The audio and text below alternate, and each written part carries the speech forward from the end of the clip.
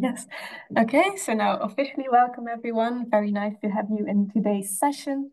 Uh, my name is Hannah Brooks, and together with Laura Pape, we will be hosting today's session. We are both uh, PhD candidates within the BioClock Consortium.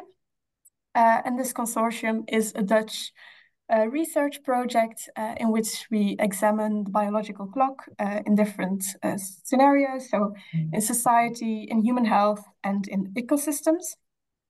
And so the uh, BioClock Consortium also organizes these monthly uh, BioClock Academy sessions. Uh, this is a lecture series um, really meant for everyone with an interest in uh, bio um, chronobiology, but especially the early career uh, researchers.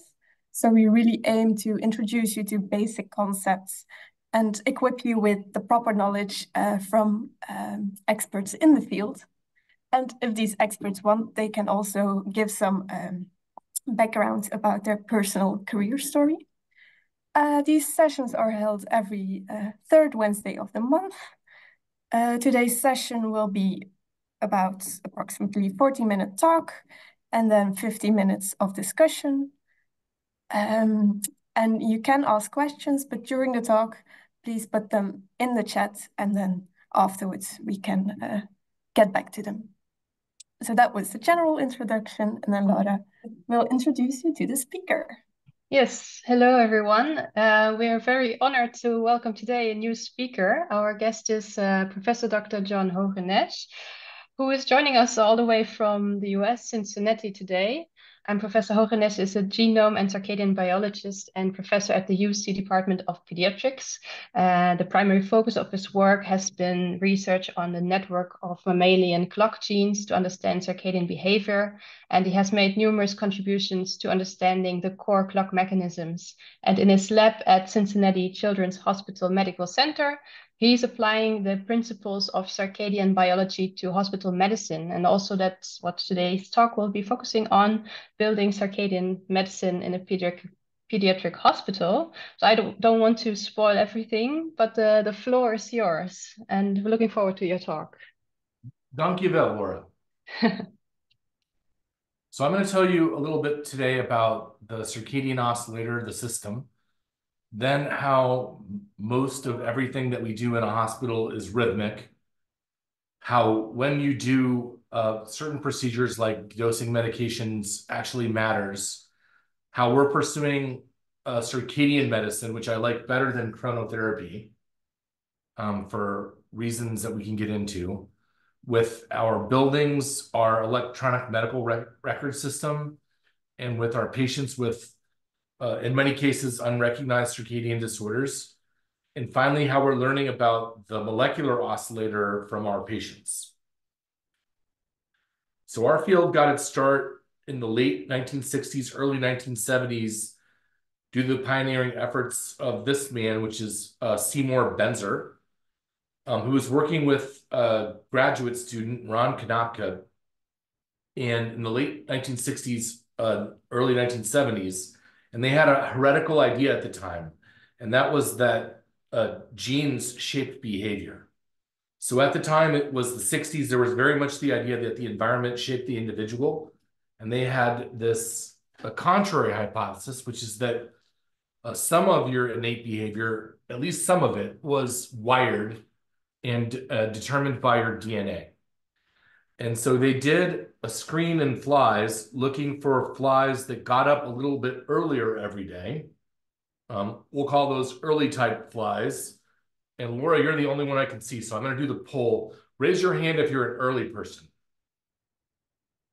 I'm not either. Personally, I find them annoying. Um, they also found flies that were late types. So raise your hand if you'd like to stay out later. Yes, I like to I like to party with you cowboys. And they even found flies that were completely arrhythmic. And when they did the genetics, they figured out that all three phenotypes mapped to the same locus in Drosophila, and they called that locus the period locus. But because of the state of molecular genetics in 1970, it wasn't possible to clone the actual gene. And it took about 14, 15 years for the Hall, Rosbash, and Young labs to actually clone the PER locus. And it was one of the founding members of the PER ARNT SIM PAS domain transcription factor family. And that really helped helped the field of behavioral genetics really uh, really flourish. So this is an, uh, the way that most people learn about rhythms, and that is they have a baby. And so this is a uh, actigraphy uh, graph. So every time a baby is active, they're moving. The bars are light, and every time they're inactive, the bars are dark.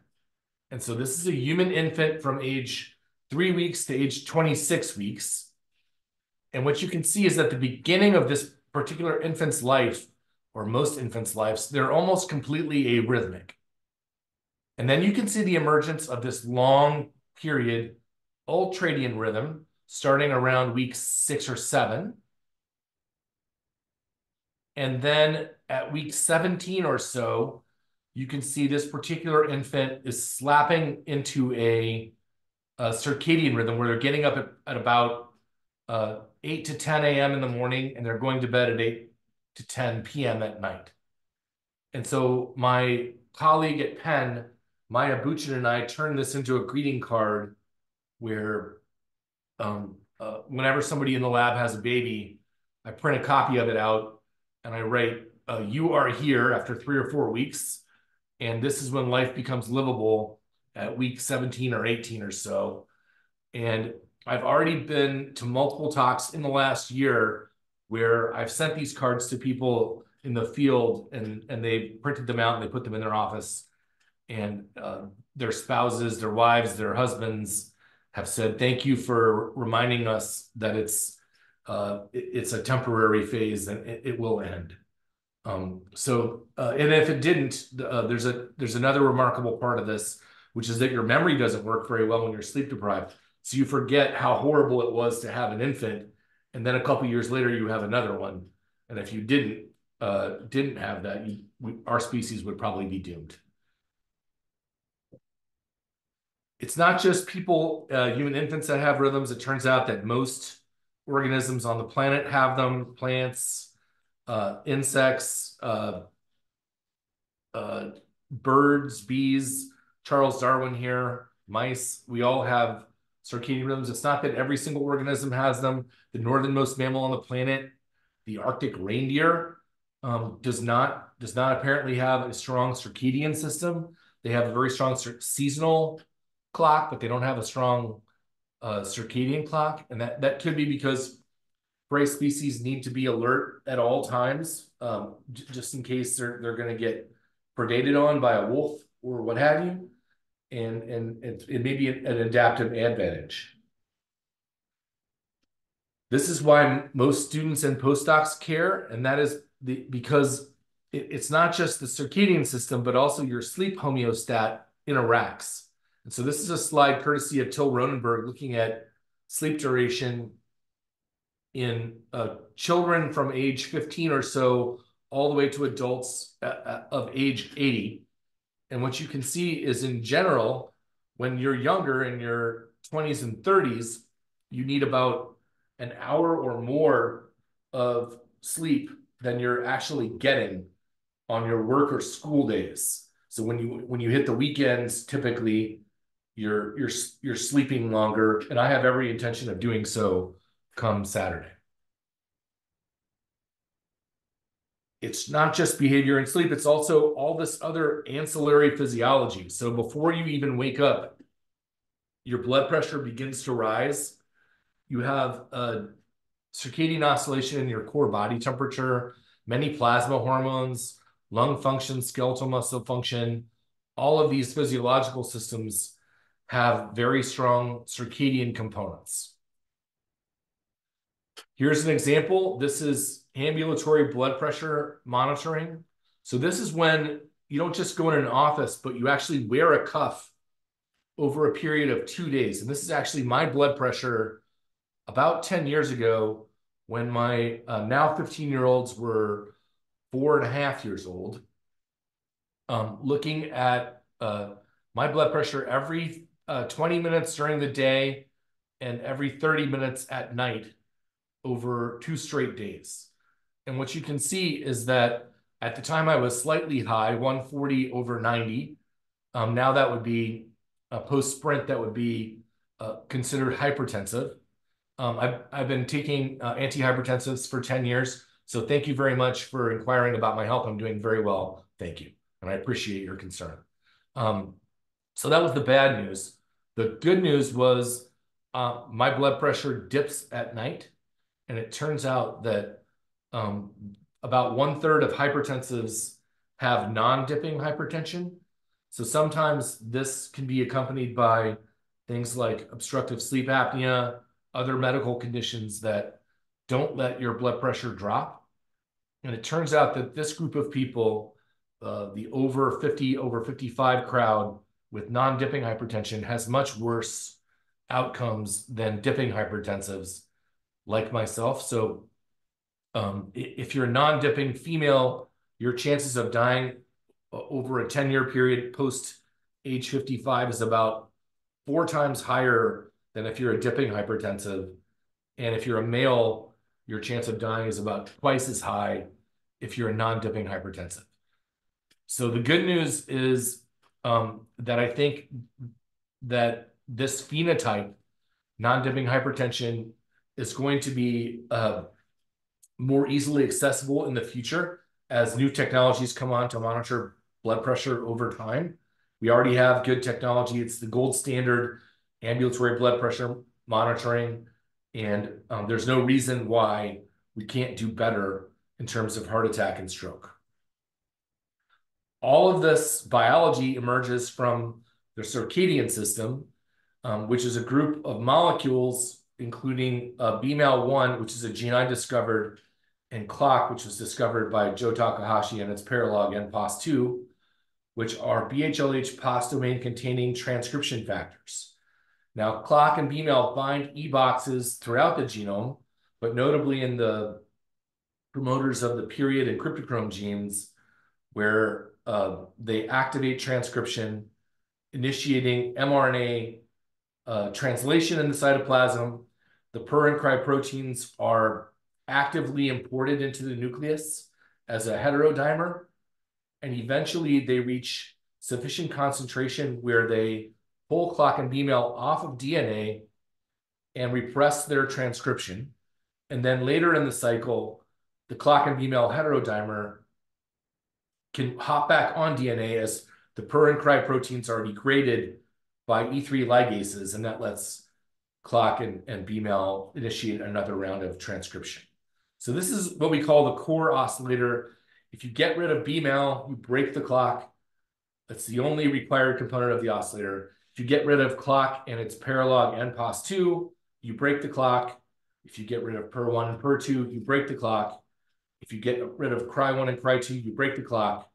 Pretty much every other gene in the genome is dispensable, but this set of genes is not dispensable. Clocks are uh, not precise. So they're biological clocks. They're not like the clock on your wrist or your iPhone, which just eh, reset every day. They're they're inherently imprecise. They run with, you know, anywhere between a few minutes to to tens of minutes off. And so every day they're reset by light cues.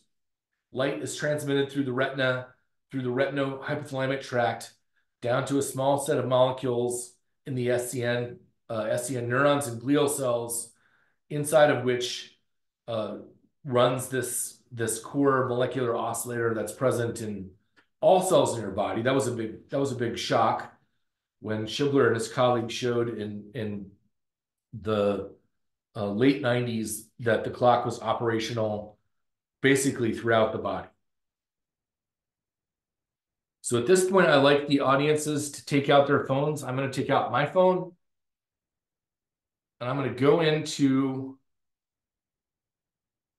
my settings. And I'm going to go looking for night shift mode. Night shift mode. And I have mine set from 10 p.m. to 7 a.m. where uh, it, it turns out uh, tunes out some of the bluish settings. It turns out that, that your light system is most sensitive to bluish light. And um, and it, it makes the phone look more sepia, and that might get you four or five more extra minutes of sleep at night. Um, you really shouldn't be using your phone at night, um, and, and uh, I don't recommend it. But if if you're going to, which come on, you know you do, uh, maybe turn that on and get, get a few minutes extra sleep. This is probably the most important thing you're going to learn during the talk. Uh, hopefully, you already knew that, but if you didn't know it, um, you can tune out, uh, tune into Instagram or whatever you guys are doing in Holland. I have no idea. All right, I'm going to tell you a few vignettes. One of which is that virtually everything we do in hospital systems is rhythmic. This is work by Marc Ruben, who's currently in um, in Venice uh, with his wife Larissa. They just sent me a text. Um, Yuping Guo, who's a, um, a bioinformatician here at Children's Hospital. Amy Shaw, who's a, a hypertension specialist. Ted Cooper, who's an intensivist and Dave Smith, who's in the office next to me, and he's a sleep-boarded otolaryngologist. So about six or seven years ago, I first got to children's, and I was wondering when medications were prescribed in the hospital. And so we wrote an IRB, an Institutional Review Board protocol, um, getting us access to uh, prescription habits of the 10 or 12 most most commonly prescribed uh, medications in the hospital. And when we did that, we started looking at the data and uh, we had, held a poll in lab meeting and both Dave and I thought that most drugs would be prescribed in a circadian manner and the rest of the lab thought it would be more or less uh, happening at, at all particular times. But when we looked at hydralazine, we saw that there was a spike of orders between the uh, 8 a.m. and 10 a.m. Um, time frame, and then again between 4 and 6. And then there was a spike of administrations of those orders between uh, 8 a.m., for example, and 10 a.m., and 4 and 6 p.m. So that's the top panel and the bottom panel, uh, respectively. We decided to look at all 12 drugs, and we found that it wasn't just antihypertensives. It turned out that pretty much every medication in the hospital is given in in this sort of fashion, and it corresponds to uh, this Western medicine phenomenon called rounding, which is when a, a medical team will go bed by bed, they'll pick up the chart, they'll look at vital signs and such, and they'll make decisions on what what exactly to do next based based on the on, on those on those checkups and they do that at two times of the day because that's how the hospital operates. And because of that, as a consequence of this cultural phenomenon, um, particularly in academic medical centers of rounding, um, decisions are made at particular times of the day.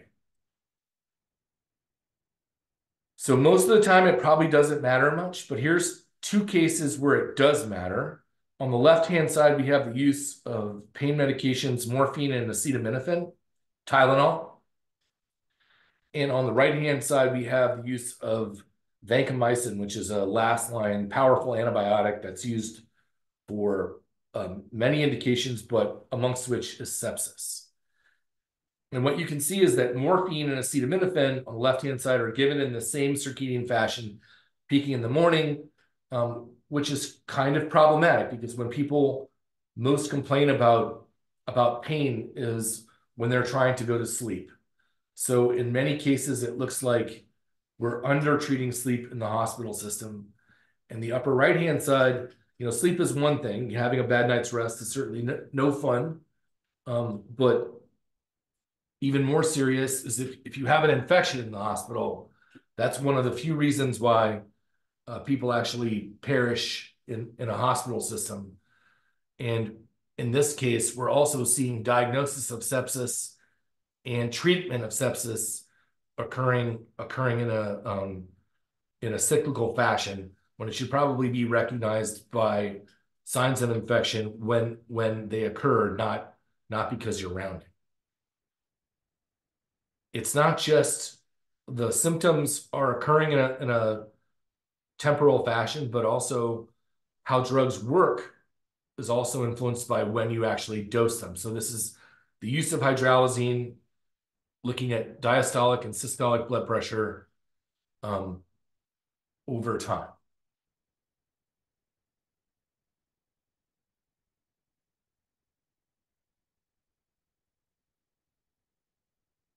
So our next steps here are to analyze more drugs. We have a current protocol to look at pretty much all drugs in the hospital system.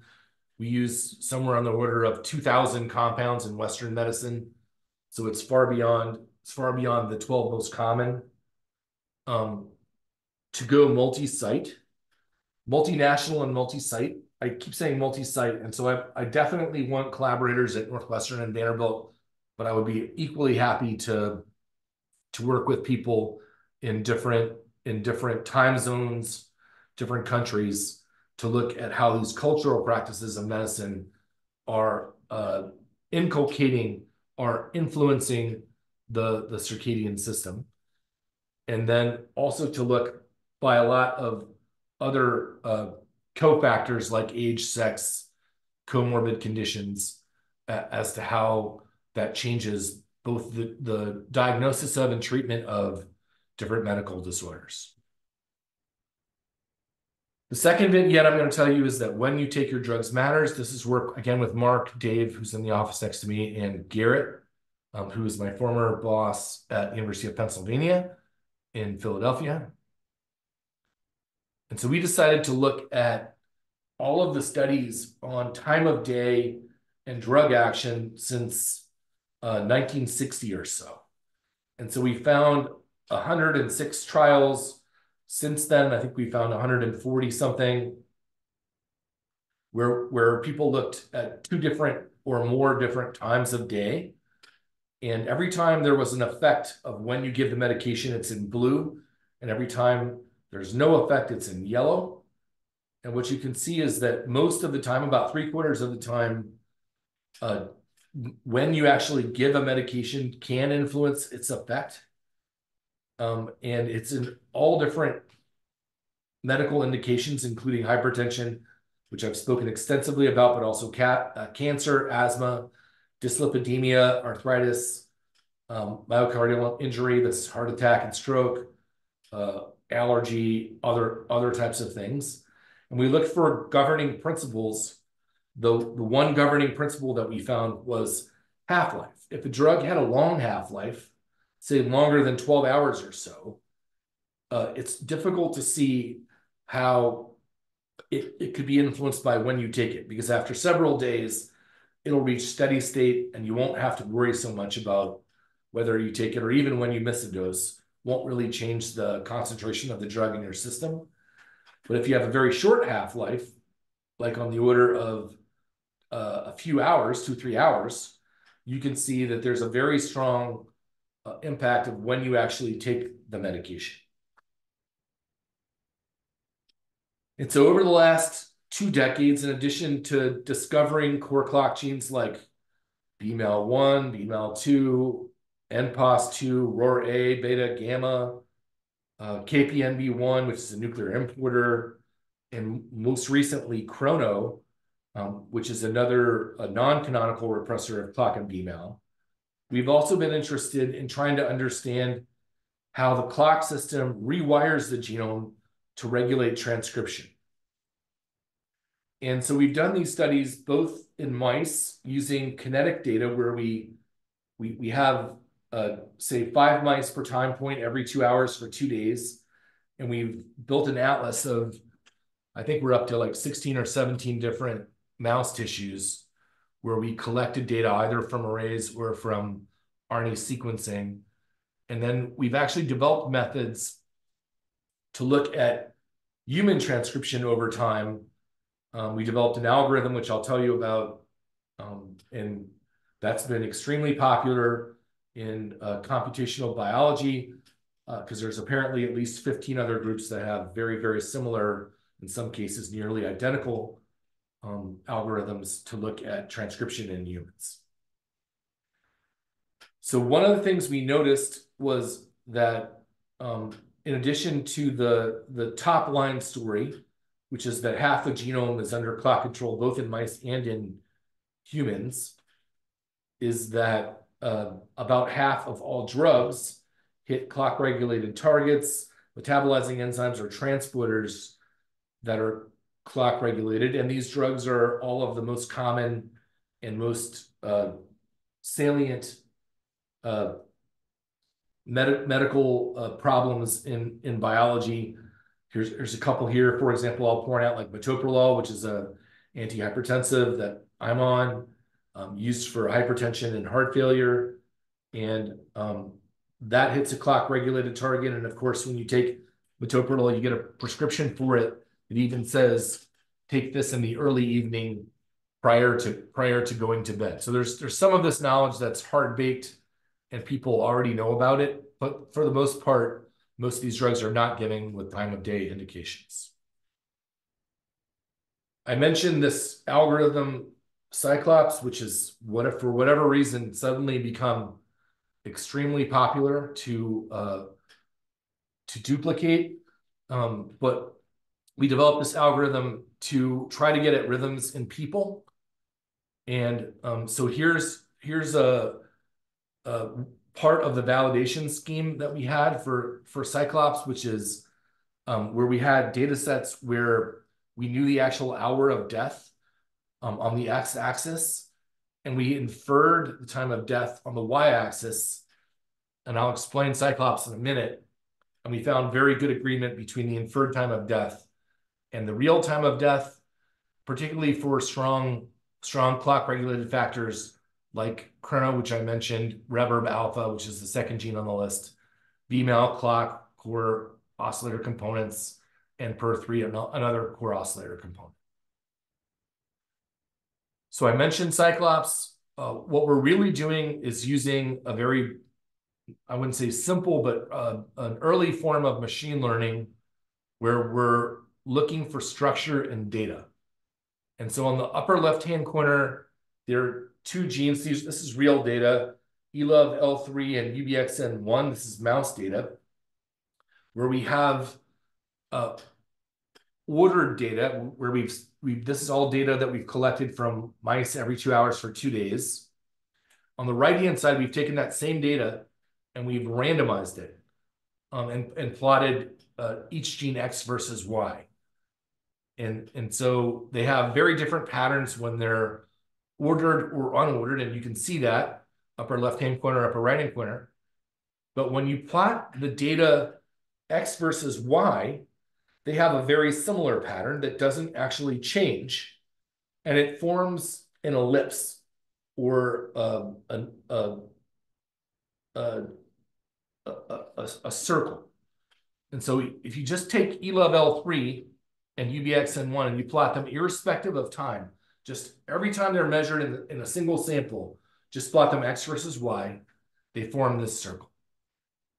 And if you randomize the data, they form the exact same circle, which of course they would have to because it's it's uh it's their relationship, it's not the relationship of time, it's the relationship of these two genes that you're actually plotting.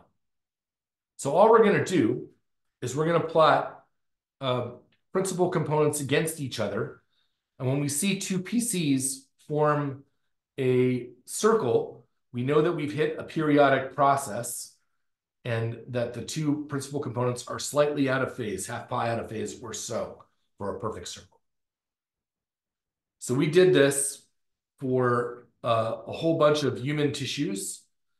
And so this is, these, these are our clock regulated genes in human liver. This is hundreds of human liver samples. These are typically biopsies that are taken from procedures.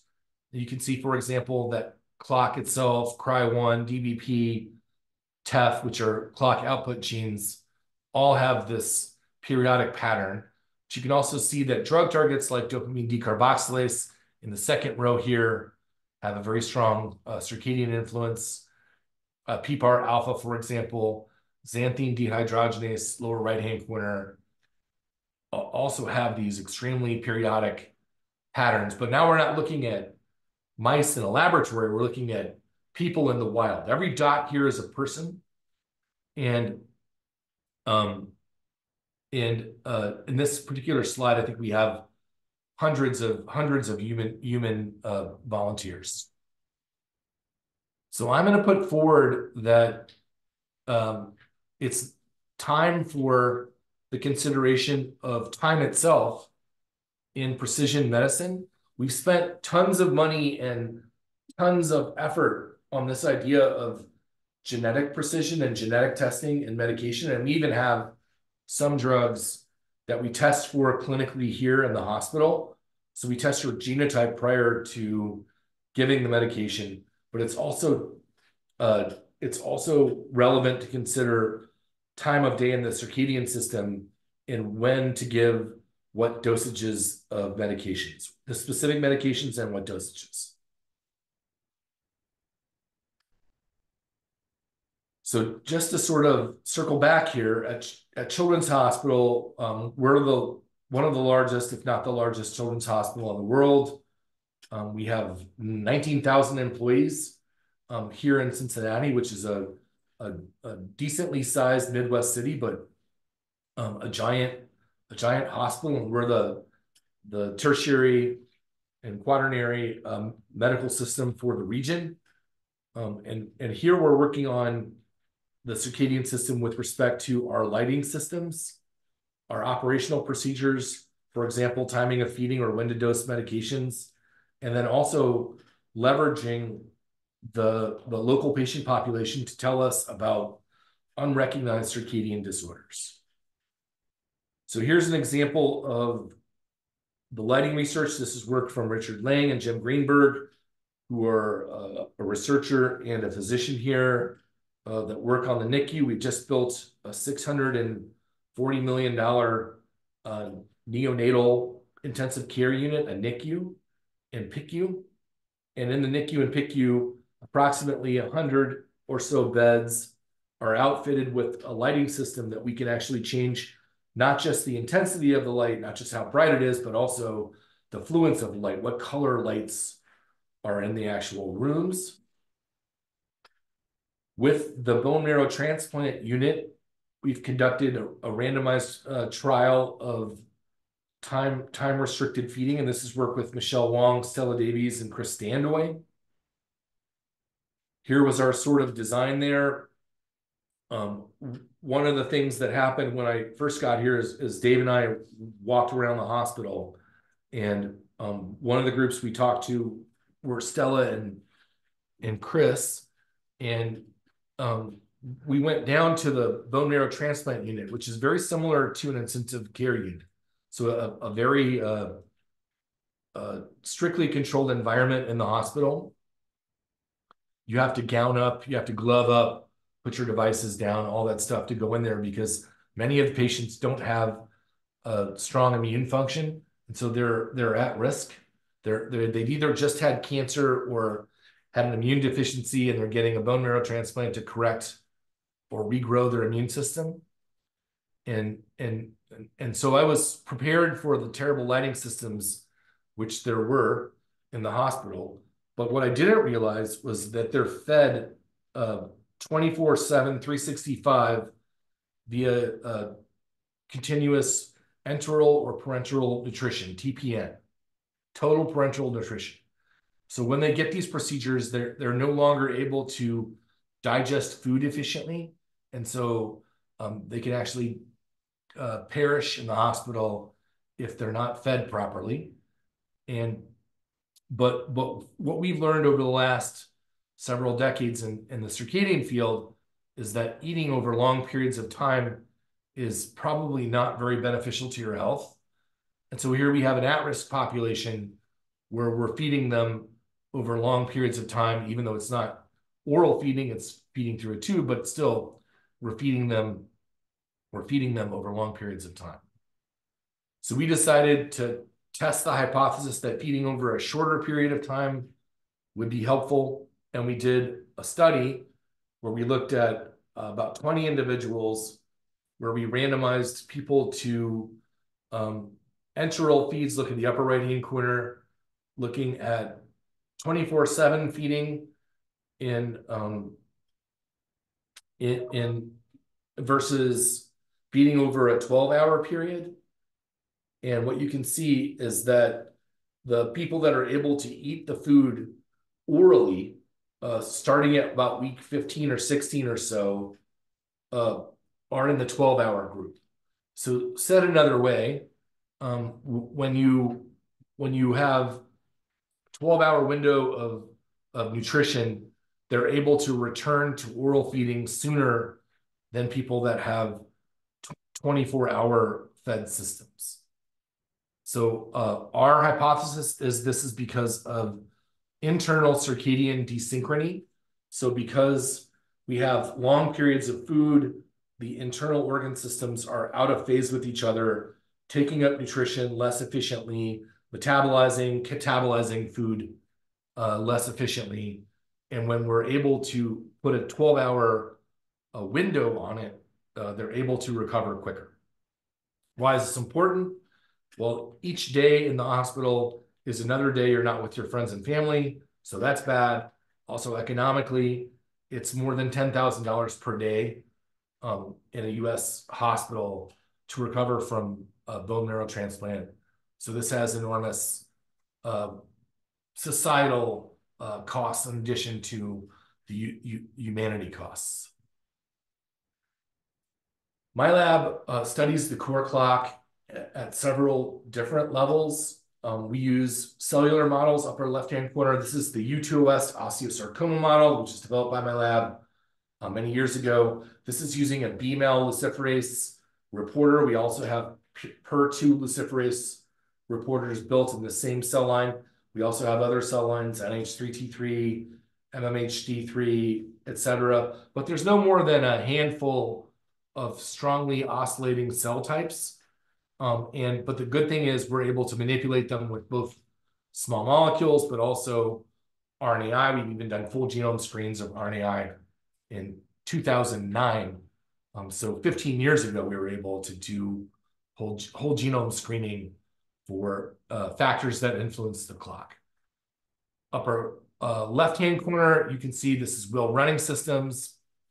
Lower left-hand corner, this is work from David Welsh, um, where they've engineered the PER2 luciferase mouse from Joe Takahashi's lab and done SCN imaging. And we have those animals and can do this type of imaging. In the lower right-hand corner, we have these piezoelectronic systems that measure mouse, mouse feeding and actually uh, uh, interpret the breathing patterns in terms of sleep stage. I I'm not sure if I buy the sleep staging, but whether they're asleep or whether they're awake, that's probably pretty solid. I'm going to put forward that what we know about the genetics of human sleep is pretty poorly understood. So this is kind of the sum of, of human knowledge here on sleep timing in humans. There's one, two, three, four, five, six genes that have been implicated, most by a single allele, um, a couple by more than one allele, uh, like DEC2.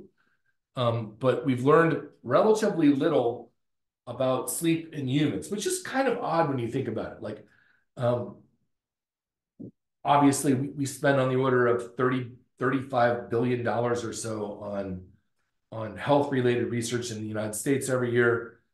And um, but surprisingly, a lot of that money is spent not on humans, but on model systems uh, that, while extremely valuable, and I, have taken you through this from the very beginning, from from Konopka and Benzer all the way to today, um, I, I certainly don't I certainly don't want there to be a de-emphasis on model organism research, but how about some emphasis on research in humans? Because after all, uh, the NIH is not here to study uh, hamsters or, or Arabidopsis.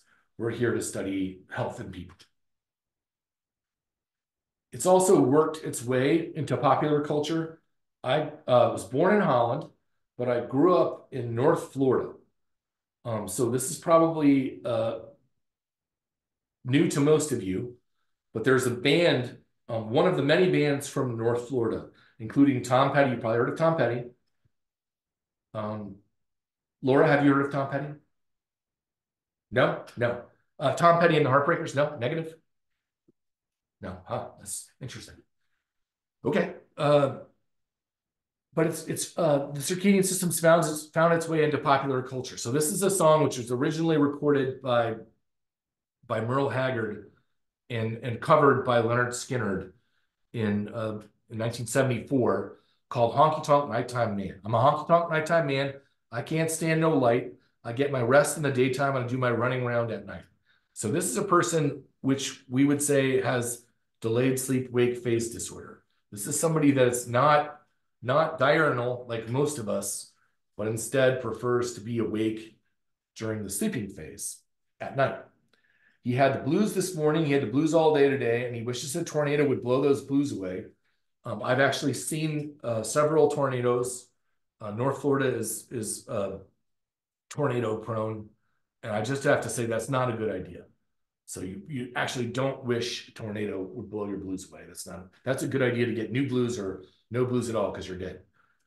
Um, and then the most interesting phrase here is then my heart starts beating when the sun starts sinking low.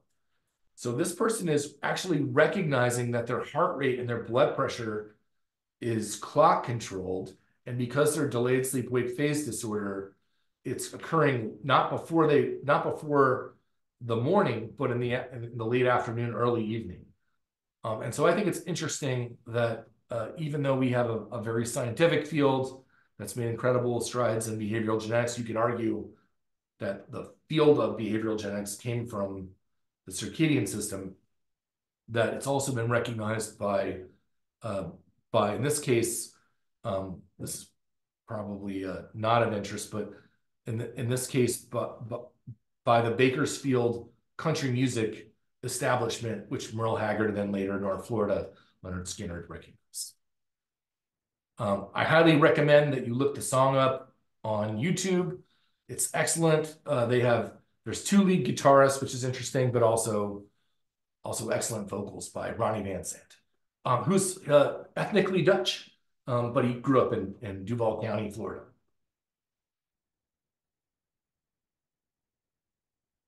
I'm going to also put forward that uh, that there's a huge opportunity in the genetic basis of sleep in children with respect to uh, with respect to adults. And this is work with my former colleague Carlos Prada, who's now at Northwestern, Tom Dye, uh, Dave again, who's in the office to the right of me, Kelly Byars and Danielle Graef, who are sleep psychologists. Um, and, and that's because when an adult decides that they want to stay up until like 2 a.m., no one says you have to go to bed. But if a three-year-old um, can't get to sleep before 2 a.m., chances are uh, their parents are going to go to the pediatrician pretty soon because they don't want to go stay up until 3 a.m. I, I certainly don't want to. Um, at my age, I'm 11 is is like a, a witching hour. I, I prefer to be in bed by 10 or before. I'm also going to make the point that there are many genetic disorders that are accompanied by sleep problems. So I've just put, this is no, by no means comprehensive, just a, a list of, of diseases, syndromes like Smith-Kingsmore syndrome, Sanfilippo, Smith-Magenis, Angelman's, Rett, uh, genetic epilepsy, Downs, autism, delayed sleep-wake phase disorder, um, where a great proportion of the patients have have uh, sleep problems. Many many times they're either poorly or or not treated at all. So this is an example. This is a healthy adolescent who was at the time 14 years old. Uh, she went to, to sleep at 6 a.m. and uh, woke up at 4 p.m um, which was problematic for going to school or interacting with the rest of uh, diurnal society. And over a six month period, Dave and her caretakers were able to use light therapy, cognitive behavioral therapy, a phase shifting dose of melatonin, and a hypnotic called clonidine to help this particular uh, patient resume a diurnal life and she was sleeping until 11 p.m. till 7 a.m., which is much more normal. and able to go to school. Everything was going great. She went off of clonidine um, and plopped back to nocturnal. She went back on clonidine and she was able to resume uh, di diurnality. And one of the things that our clinical teams do is stress that, you know, it, while you're going to school, when you're a teenager, whatever, what have you, you can't you can't basically make school start at different hours. But when you get to be an adult, you can decide for yourself whether or not you want to work the Tokyo desk in the New York Stock Exchange, or uh, for example, be an ER doctor. And, and so there's there's advantages to having these late late types um, that that may emerge later in life. And so when we were looking for candidate genes, one of the interesting findings was her the the genetics, her dad, her her paternal grandmother, and her, and she all uh, had uh, polymorphisms in a gene called chrono, um, which is a gene our lab discovered, a non-canonical repressor of clock and BMAL. And so we actually made both chrono knockout mice um, which is in the lower left-hand panel in black, where we looked at period length. And when you knock out one copy of chrono, you have an intermediate phenotype, and you knock out two, two copies of chrono, you have a long, long period phenotype. And we also made a, a, a version, a mouse out of, of this particular allele of chrono and showed that these mice take about two extra hours to reach their peak lo locomotor activity th than a, than a normal mouse. We've also been working on uh, syndromic disorders like Smith-Kingsmore syndrome, which are caused by gain-of-function mutations in mTOR. mTOR is a um, it, it's an important molecule that re regulates nutrient responses, uh, amongst many other things in the body. Um, these particular patients have gain-of-function mutations in mTOR um, and have a, a, wide range of, pretty serious uh, medical disabilities, including intellectual disability, developmental delay, megalencephaly, and seizures. In fact, the kids that have passed from Smith-Kingsmore syndrome have all passed from epilepsy. Because it's a gain of function mutation in mTOR. The R in mTOR is rapamycin, which is an mTOR inhibitor. And so we decided to use mTOR. And uh, Carlos, who was about 50 meters from my office, uh, had dosed a patient. And um, the, the parent had noticed that, that uh, their sleeping changed when they gave this relatively high dose of rapamycin. And so they observed a sleeping pattern of about a week of good sleep, a week of okay sleep, a week of terrible sleep, and another week of okay sleep. And they said that each cycle lasted, lasted about 24 days or so. Now, when Dave and I saw that, we both were thinking, this looks like a, a delayed sleep-wake phase disorder patient um, and, and somebody whose tau is actually changing and they're chasing their clock. Their, their sleep is chasing the clock around the clock for whatever reason, even though the family lives here in Cincinnati, they decided to write a physician in Montreal. Um, and then the physician in Montreal wrote uh, Mike Rosbash, who's uh, in Boston. And then Mike wrote me. And then I gave the chart to Dave. And then Dave and Carlos talked. And uh, and so this this uh, 2,000 mile journey um, basically covered about 50 meters in the same building that I'm in right now, um, with Dave uh, six feet over to the right. That's two meters in in the European system, and then Carlos, which is about 50 meters up that way. So 2,000 2,000 miles to go to go 50 meters. So that's not good, right? That's just that just just us not talking. And one thing I would say is that we're now actually talking so that's a uh, that's a good thing. So we've in um, similar research, we've gone on to show that the rep the, the mTOR system is uh, strongly linked to the clock. There's physical connections between mTOR itself and, for example, PER2. Um, And we've shown both pharmacologically, upper left-hand corner, rapamycin, the mTOR inhibitor, middle panel, uh, shRNA is designed against mTOR, change period length, and uh, even the SCN system is altered by is altered by uh, the mTOR system. And so it's it's not just changing period length, it's also influencing amplitude.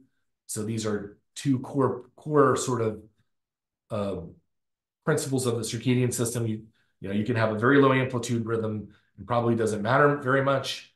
Um, and you can have uh, high amplitude rhythms that are probably very important, et cetera, et cetera.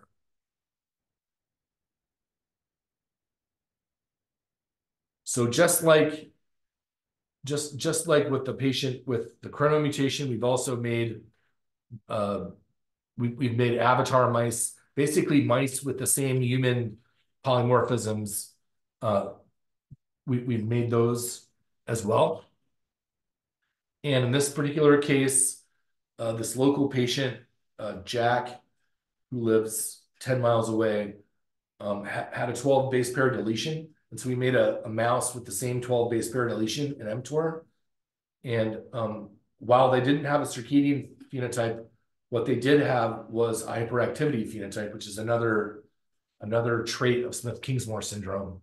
So in this case, we were not able to model the circadian problems, but we were able to model the hyperactivity in mice. So here's our sort of treatment model for SKS. Um, are basically trying to dial in the appropriate mTOR activity amount.